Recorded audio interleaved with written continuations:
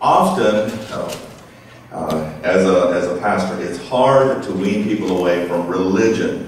I just want to remind you, as far as I'm concerned, a time like Resurrection Sunday can be important because a lot of people begin to feel a little emotional and a little religious, a little responsible to God, just like that, that on Christmas.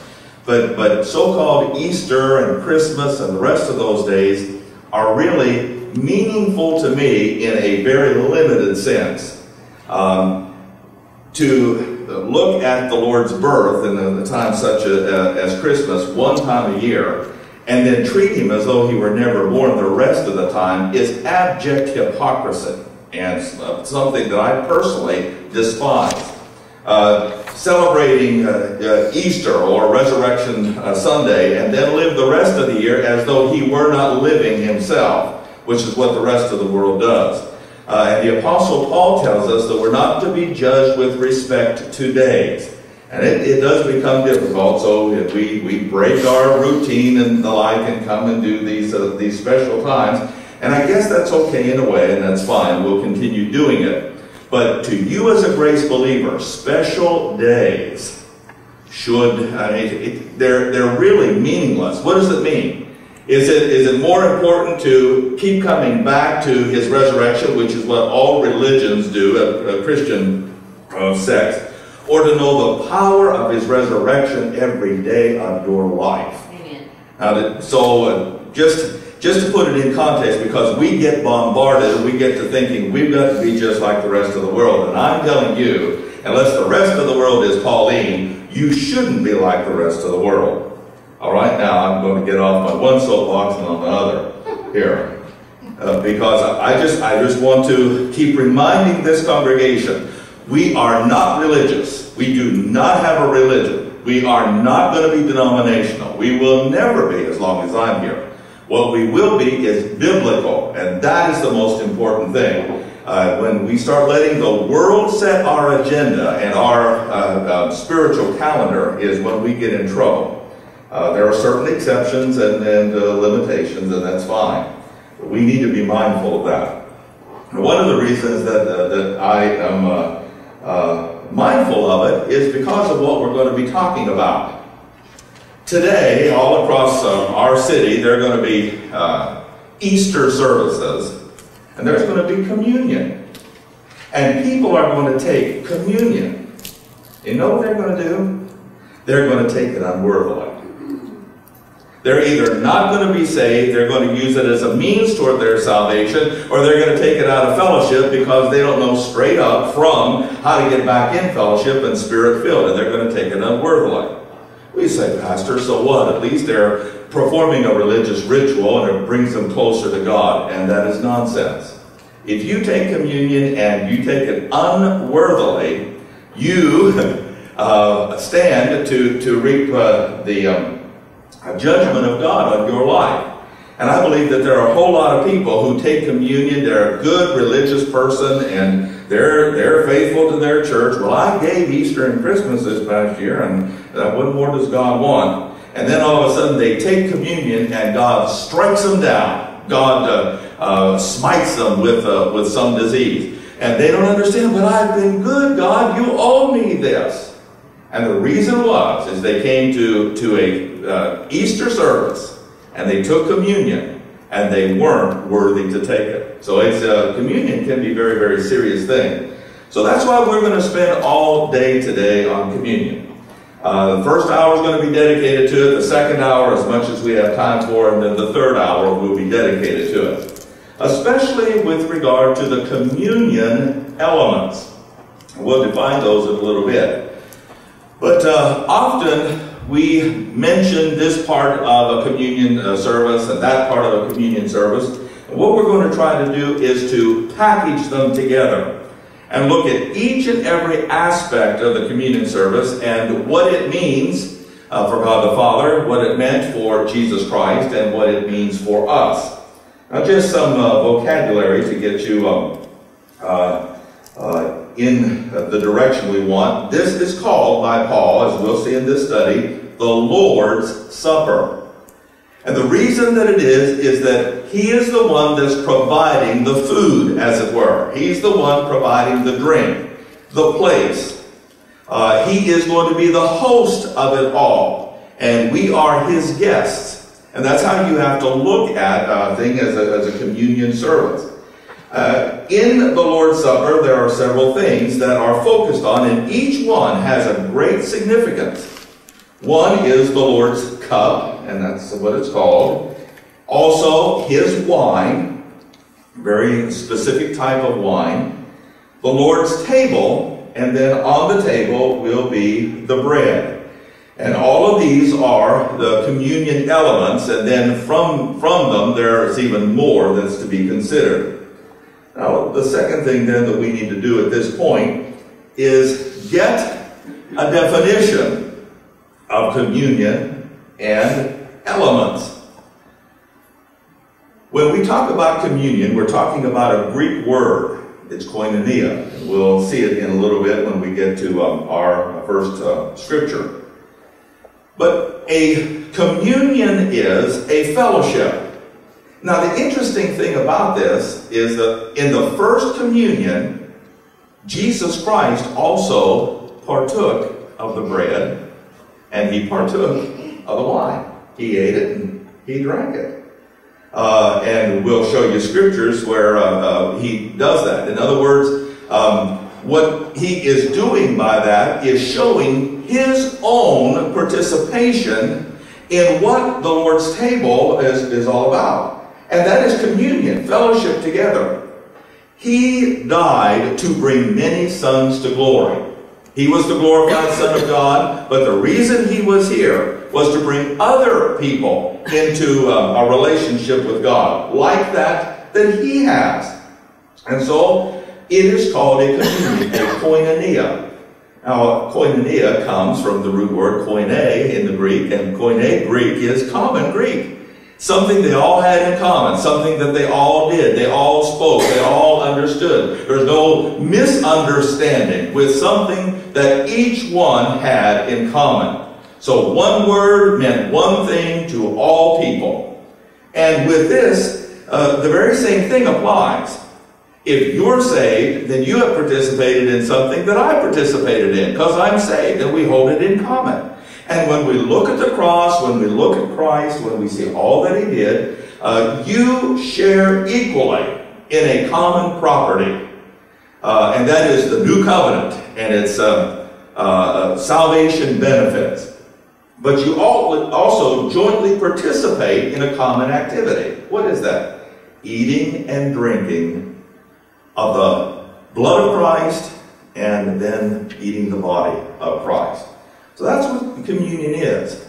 And um, as we'll see, eating and drinking is a symbol. And it is one of the most familiar symbols that, that God could give. It's the easiest to understand. We all understand drinking. We all understand eating. We all understand a table. We all understand a cup. And we all understand uh, supper. You know, the old phrase, you can call me this, you can call me that, just don't call me late for supper. So that's the, um, that's the communion part. When you have a supper, everybody comes to the table and partakes of the same food and drink. And the eating and the drinking picture receiving the, the spirit and contents of, of the gospel so that we're saved. Secondly is the word elements. Uh, last uh, Friday night at the uh, uh, uh game night, Steve Irwin said that there was a kid, uh, was he a chemistry student, I guess, or he was a student, uh, and he came and, and uh, he was having a pe petition, and uh, he was trying to get uh, these people to sign uh, as a protest to the environmental destruction that we see out there. And it, it, the protest was against something that was very, very toxic, and so people were signing it right and left. Uh, and uh, it was dihydrogen oxide. People said, boy, that's bad. That's, that's uh, something that's really toxic. It's really going to hurt us. And so, and so we got to hundreds and hundreds of signatures to ban dihydrogen oxide, people being environmentally friendly and the like. Well, dihydrogen oxide is H2O or water. Uh, but uh, that's how much uh, they knew. And Steve, I'm sorry, I think I signed that when the kid come around. well, oxide threw me off. Oxide, oxide. I knew H2O. All right. But all those things are elements. You have to have two parts hydrogen, one part oxygen to make the water. That's its elements. If you only had one part, uh, or two parts hydrogen and no parts uh, uh, oxygen, you could never get water. You have to have everything contained as ingredients in order uh, for the substance to be seen or realized. Uh, same thing in, in baking or cooking. You, you want to make a cake, a pie, you've got to have all the ingredients of flour, water, milk, eggs, uh, whatever. They've all got to be mixed in. If you miss an ingredient, it would be like what you wanted to make, but there'd still be something missing. So the same thing is true of the Lord's Supper. You've got to have all of these components. A, uh, an element is a component or a constituent part essential to the composition of the whole, and without which the whole wouldn't be what it should. If you just drank the wine without eating the bread, it really wouldn't be communion, what we're talking about. Or ate the bread and didn't drink the wine or if you ate it unworthily, or if you ate it uh, wanting it to do something other than what God intended. All of the ingredients have to be a part. Otherwise, communion is not communion in uh, that sense. So, when we're talking about communion elements, we're talking about some specific things, all of which must be present in order for it to be a communion service. Okay, so here we're in 1 Corinthians chapter 10 and verse number 16. What does a communion service portray? It says here in verse number 16, so we read on down, skipping the first sentence, is not it the communion of the blood of Christ? Now, every single one of us, as is shown by our uh, picture, this 1 Corinthians 10 16, reading down from the first sentence of the, the verse, is not it the communion of the blood of Christ? So that means when you come to the Lord's table, you are saying something about the blood. Now, when we talk about the blood of the Lord Jesus Christ, we have to realize something as we'll see later on. Though the blood literally had to come from his veins, Jesus Christ did not bleed to death. The blood is another picture of a picture. The blood is a picture of his soul work. Uh, the work of Christ on the cross was twofold. One was his soul, pictured by the blood, and the other was uh, uh, his body, pictured by the bread. And so when we say about the blood, Jesus Christ did not bleed to death. How do you know that? I know it because he said, No man takes my life from me, but I lay it down in myself. And right at the specific hour, the other two thieves were still alive, but right at the exact time when the Passover would be killed, between the evenings or at 3 o'clock in the afternoon, between noon and, and 6 o'clock, Jesus Christ said, It is finished. He yielded up the ghost and he died. As a matter of fact, they came to break his legs and I said, He's dead already? How could this be? He did not bleed to death. But the emphasis on the blood of Jesus Christ takes us to what happened in his soul. And the life of the flesh is in the blood. That oxygen and the flesh combination that keeps you alive physically is another sign back to what he went through in his soul. We'll see that in a little bit. But we look at the blood then and we see there's indeed power there because of what it speaks of. When I see the blood, I will pass over you in judgment. The blood has to be applied. The blood is important uh, to God. So, if you've uh, believed in Christ as your Savior, when you come to the communion table, you're saying something. It's a statement of faith in the blood. All right, the second thing, verse number uh, 16. The bread that we break, the cup of blessing, it's the communion of the blood. The bread that we break, it's the communion of the body of Christ. Now, just as the blood uh, speaks, uh, or uh, of certain things. You've got the wine that speaks of the blood, and the blood is even a, a, a type of a type, as we'll see. Communion of the body of Christ talks about what he did in his body. Now, what he did was, uh, was bear our sins uh, in his own body on the tree. And he went through torture, agony, suffering, everything necessary to punish our sins. He took it upon himself in his body. So if uh, you want to say, where is my salvation located? My salvation is located on the cross, in the soul of Jesus Christ, what he did there, and in the body of Jesus Christ, what he did there in bearing um, our sins. So, if you will, come now with me to Luke chapter 3.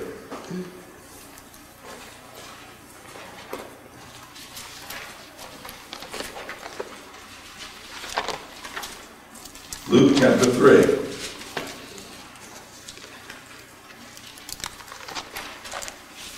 And we'll look at verse number 6. Now, it's an interesting thing regarding this communion uh, service, the Lord's Supper. Because except for the Word of God that we have here, the writings of Paul, basically everything else spiritual is not by sight, but by faith. And that's what he says in uh, 2 Corinthians 5 7. He says, we, For we walk not by sight, but by faith. Uh, or, excuse me, we walk by faith and not by sight. Huh? but you got the gist of it. You see, the elements. now, uh, when, we, when we come to the Lord's table, the interesting thing about this is that salvation, our salvation is visualized. It's tangible. We hold it, we taste it, we eat it, we look at it, uh, and it is, uh, it is the one visible thing God wants throughout this dispensation of grace, wherein uh, our walk is not by seeing it. But when we come to the communion table, Salvation is visualized.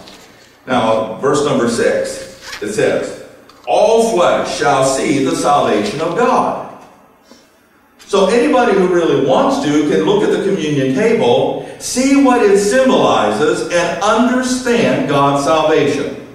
And that's what we're going to do today. We're going to take each part, each utensil, each element, and, uh, and look at what God says about it. Now, Let's, um, let's look at the Passover, uh, which uh, the Lord's Supper was founded upon, and see something even in the Passover that is a visual. Turn back with me to Isaiah chapter 52. Isaiah chapter 52.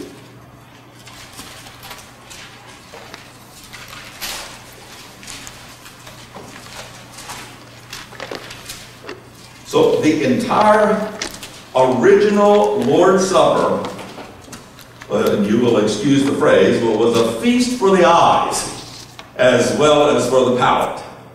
It was something revealed in all that went on there. And what is revealed is salvation.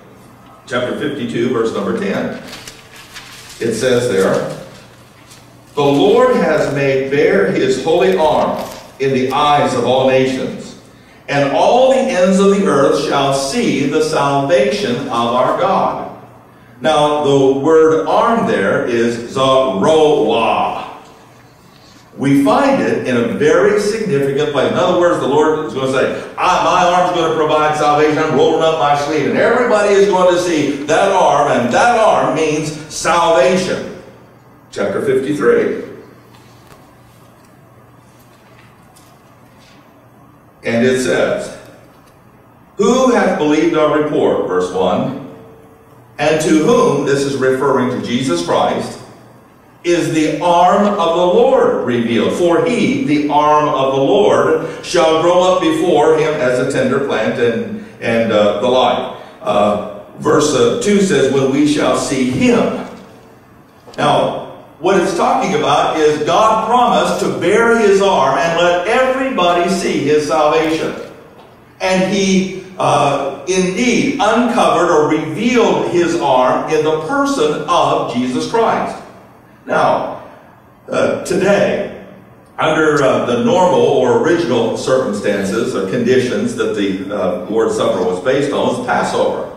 And they had the lamb with, the, with his bones there. But today, because we serve a kinder and gentler Passover, you, you have the shank bone there. You just put the shank bone. And the shank bone is the same word, zarah, or arm of the animal. And it refers to or pictures the arm of the Lord providing salvation. So they look at that shank bone and they see the arm. Now the same principle is involved then in the Lord's Supper. He took these things and he visualized salvation. Now, well, what is the, the first thing that uh, is emphasized? 1 Corinthians chapter 10.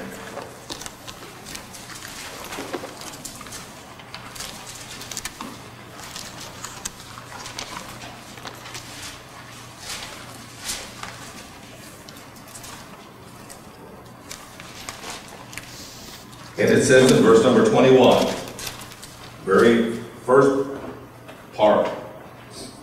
you cannot drink of the cup of the Lord. So uh, if you come over to, to chapter 11, it says in, in verse number 26, middle part, as often as we drink this cup.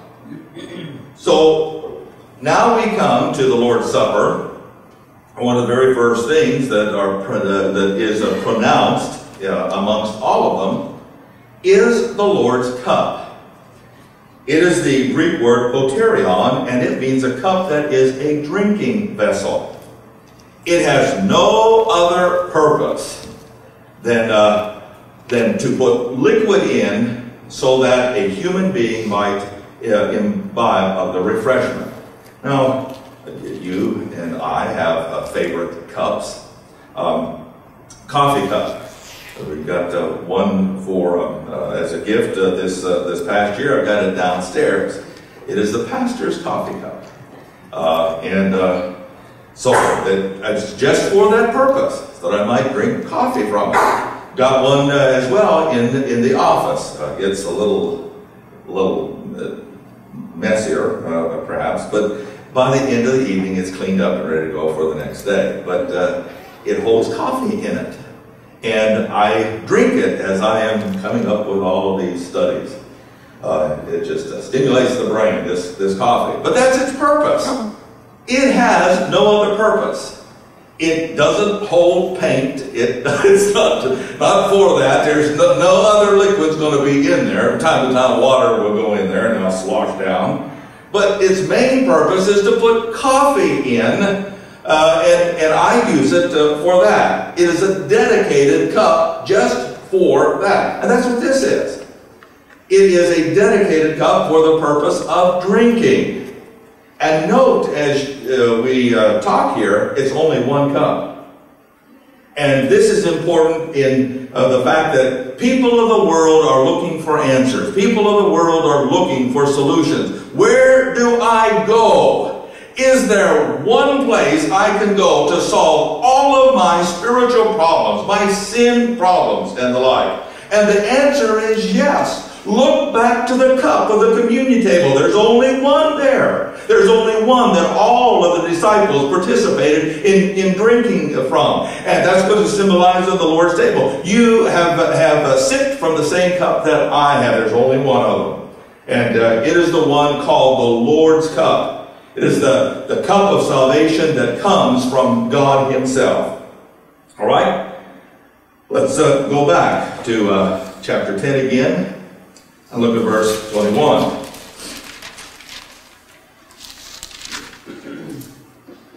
We get a second instrument that is vital to eating. Hey, Yeah, you ever tried eating standing up? you ever tried eating, uh, You've got all this stuff, soupy stuff, uh, and it's you're, you're not seated at the table. Everybody else is seated there, but there weren't enough chairs for you. You you take it, you have to stand up, and you're you know uh, the thing is dripping, and you, you can't seem to, to, to cut the meat and the like. Well, what do you need for that? You need a table, something solid, a firm foundation on which you can place these things, and you don't have to worry about holding it. The table is going to hold it, and that's the idea. You don't have to worry about holding your salvation. It's a table that God has provided. Uh, and it's as solid as God Himself, and you just simply, the food is already in place. He put it there. You just simply take from it. And that's why it's called here. Middle part of the verse. We are partakers of the Lord's table. And it is a Greek word trapeza. And it means a table on which food is placed and served. Uh, that is its purpose, again. Uh, it is specified by the Greek. Uh, it's not to be used for other things. Um, it is to be used for the placement of food. Now, if you grew up uh, around a, a, grandmother who was uh, an excellent cook and very, very fussy as to her, you understand that that table is for the purpose of eating. Uh, if you need something to stand on to change a light bulb, you need something to, to stand on to, to paint or what have you, don't you dare put your foot on that table. That is there for one purpose only. I'm going to put my food there and you're going to take the food from it. Uh, it's a dedicated table. That's what it is used for. And, and that's all it was used for uh, as well. But that is uh, the idea of the Lord's Supper. You look at one table and you find there's only one place where God has set a table uh, and where God has provided that. And uh, uh, that is in the Lord's Supper. Salvation is, is going to be uh, taken from the cup. Salvation is to be taken from the table. So in all of these things, we see that salvation is visualized. All right, let's let's look at another angle or aspect of this. Titus chapter 1.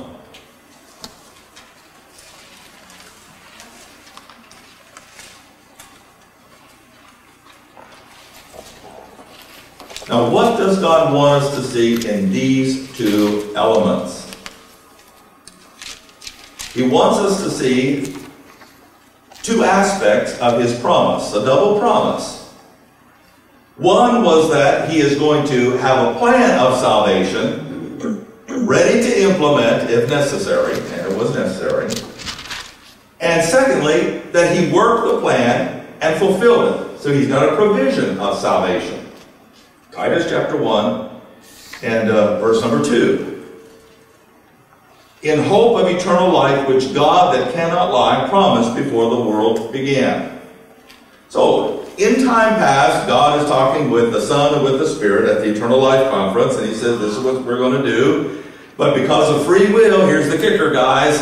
Um, angels are going to be able to sin uh, if they if they so desire humans will be able to. But because of that, we're going to have to put in effect a plan where we can redeem them back. We can reconcile. We can bring them back into the family. For those who say, well, that's what Lucifer did, that's what Adam did, but I don't want to join those fellows. I want to be on God's side. We've got to have this plan.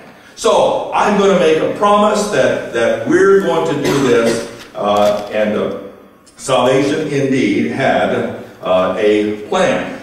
Now, what is the plan with regard to the cup? 1 Peter chapter 1.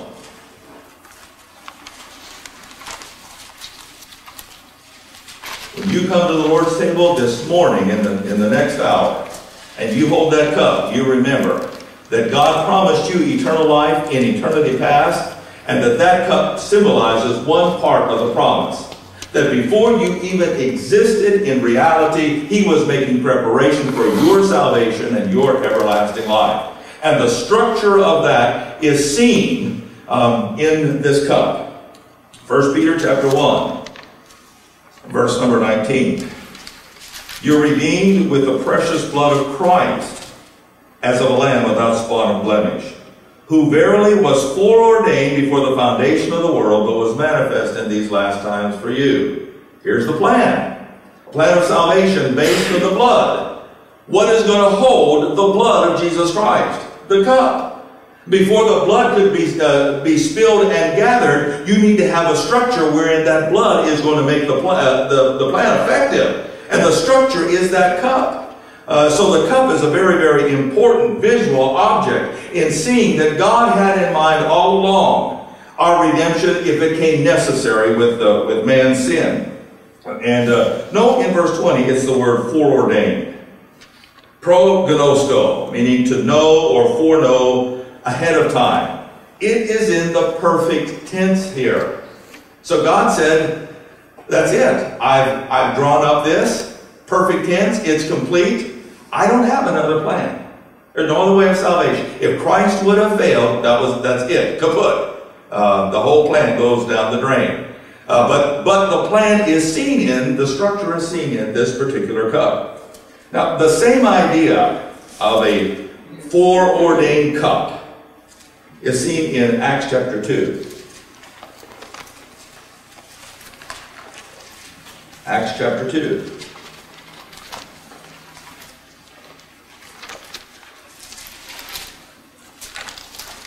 Starting with verse number 22.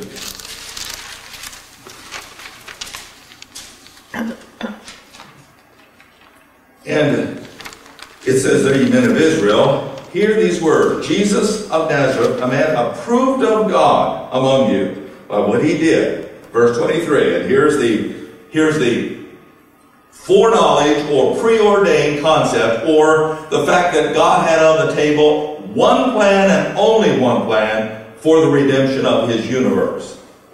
Him being delivered by the determinate counsel and foreknowledge of God. Here was the plan, and God said, This is the, the direction we're going to go. And that's why Jesus could not pray, Father, give, give the cup to somebody else. Uh, uh, Father, can we do it another way? Once the plan was on the table and ratified by all three members, it was that plan or no plan. And so uh, that's why he says, Jesus Christ was delivered by the determinate counsel as seen in the structure of that cup and the foreknowledge of God. Ye have taken by wicked hands and have crucified him. That's the plan. Uh, that's what the cup represents. The death of the testator, uh, the death uh, of the mediator of the one plan, and it's called the New Covenant. All right, let's go back to uh, uh, the book of Psalms, chapter 23. I shouldn't go back there. I should just have you quote it. I know you know it. Psalms 23, but Verse number 5. Now we come from the cup to the table. It too is a specific structure. Uh, understood by all as to what you do uh, on the table, what it's for. So in Psalms 23, verse number 5, it says, You prepare a table before me in the presence of mine enemies. And that's the, the uh, whole purpose of this. You see a table in front of you and say, all right, we're, we're going to eat? Yes. Well, whose table is it? Who's the host? It's God's. And God has prepared for it. And so God's provision of salvation is seen in the table as God's plan of salvation is seen in the cup. Uh, and nothing could be more vivid or, or easily understood. Now from here, let's go back to Genesis 22, where we get um, we get an idea that this is what God has had in mind all along. And it's it's one of our favorites because of of Isaac. Abraham tells Isaac, we're going to go up to the mountain. We're going to sacrifice a lamb oh, Dad and I get to go on a journey. Know, just see them as a, uh, cartoons used to be when they were good cartoons. You know, the, the, the person is excited and yes, yes, and doesn't understand that there is a downside to this trip. So uh, it came to pass, verse number one, God did, did test Abraham. Called him, and he said, I want you to take your son, go to the land of Moriah, and offer him there among the mountains. So Abraham rose up early, he saddled his ass, took a, a couple of others uh, with, uh, with him, Isaac, the wood, and the, and uh, the like, and he went up to Mount Moriah. And uh, he told the men, verse 5, just stay here. The lad and I are going to go up there alone and worship and come back. So Abraham took the wood, laid it on Isaac. He took the fire and the knife, and they both went up together. Now, on the way up here, there is something conspicuous by its absence. we, we have got everything here, Dad, for this sacrifice, but something's missing. Where is the lamb? And it began to dawn on him now what, what's going to happen there. Isaac spake to Abraham his father and said, My father, he said, Here am I. Behold the fire. Yes, son, we've got it. Behold the wood. Oh, absolutely. We couldn't, couldn't sacrifice without the wood. Uh, but where is the lamb? I want you to see what Abraham says. And that is what the table pictures. He says, My son, God will provide himself a lamb for a burnt offering. Now, you know the story. Abraham put Isaac on the altar. He bound him up. He put the wood under him to be burnt. He was coming down with a knife to plunge it in his heart, and God stopped him and said, That's fine. And he found a ram. So let's, uh, let's look at uh, this. Verse number 13. And Abraham lifted his eyes, and behold, behind him a ram was caught in the thicket by his horns. Now, even this is, is picturesque. Uh, Jesus Christ had, had a dilemma, twofold dilemma. Uh, even though he was powerful, which is pictured by this, this male ram with the horns, he was caught. Uh, that ram was stuck. If, if Isaac was going to be redeemed, that ram had to be the one and only sacrifice. So Jesus Christ was in the horns of a dilemma here. Uh, but he willingly gave himself as our substitute.